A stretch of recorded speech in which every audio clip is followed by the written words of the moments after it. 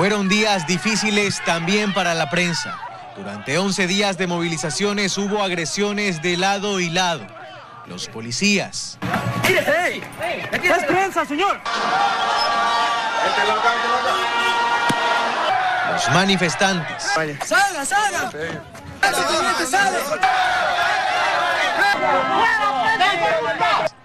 medio periodistas intentando hacer su trabajo entre gas lacrimógeno, golpes, insultos y lanzamiento de objetos.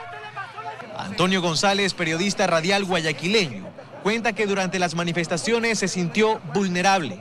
Porque donde íbamos éramos o prensa corrupta, o ladrones, o delincuentes, o síguelo, síguelo, síguelo, y dale, dale, dale. Las instalaciones de Teleamazonas en Quito fueron vandalizadas. Se quemaron varios vehículos.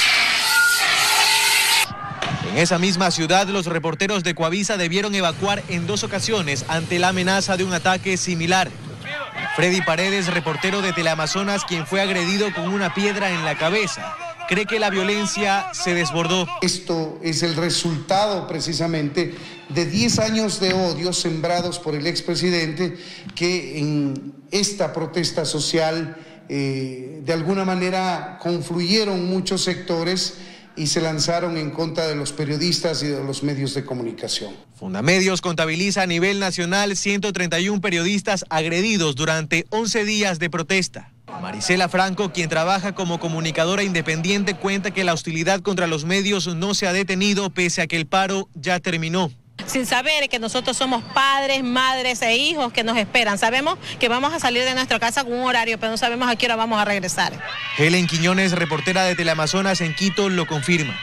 Este lunes, junto con su compañero camarógrafo, tuvo que abandonar su cobertura en medio de una iracunda turba que los insultaba.